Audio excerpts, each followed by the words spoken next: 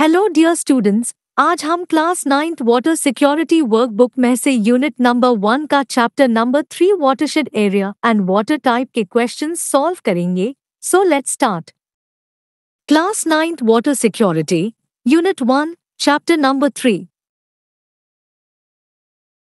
watershed area and water type question and answers name of the activity watershed area exploration Purpose Importance of the activity The purpose of this activity is to study the watershed area in the surroundings.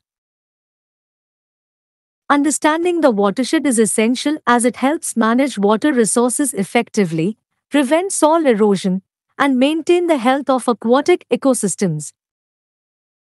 It also promotes awareness of the environment. Proposed time duration for the activity approximately 1 to 2 weeks. Materials and apparatus required for the activity 1. Maps of the local area 2. Compass or GPS device 3. Notebooks and writing materials 4. Access to the Internet for research 5. Optional, digital camera or smartphone. Methodology of the activity 1. Begin by studying maps of your local area to identify rivers, streams, and lakes. 2. Use a compass or GPS device to determine the boundaries of the watershed area for a specific water body. 3. Visit the watershed area and take notes on the terrain, vegetation, and any signs of human activity. 4. Document the coordinates of key points within the watershed. 5. Research online or consult local experts to gather information about the importance of the watershed and any ongoing conservation efforts. 6. Create a detailed report or presentation summarizing your findings and observations. 7. Share your report with classmates and discuss the significance of watersheds. Diagrams Photographs of the activity. Dear students, draw the given diagram. Concepts that have become clear during the activity. 1. Understanding of what a watershed is and its boundaries. 2. Recognition of the importance of watersheds for water resource management. 3. Awareness of the impact of human activities on watershed health. What new things did you learn? I learned how to identify and study the watershed of a specific water body in my local area. This activity provided insights into the interconnectedness of land and water and the significance of watershed conservation.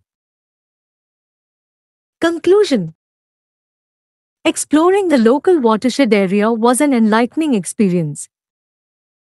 It highlighted the vital role of watersheds in maintaining the health of our environment and water resources.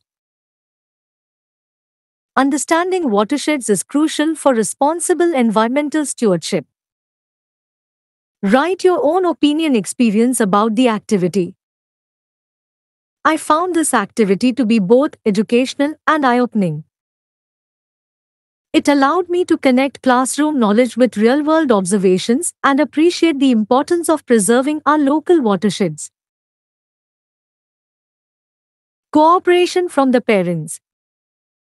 Parents were supportive, providing transportation and encouragement for the field visits and research.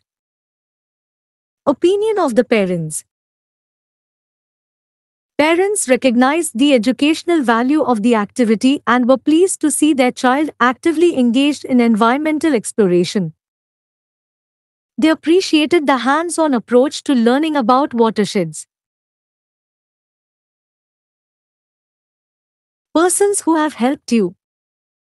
1. My geography teacher provided guidance on conducting the watershed exploration. 2. Local experts and environmentalists offered insights and resources. 3. Parents supported with transportation and supervision during field visits. 4.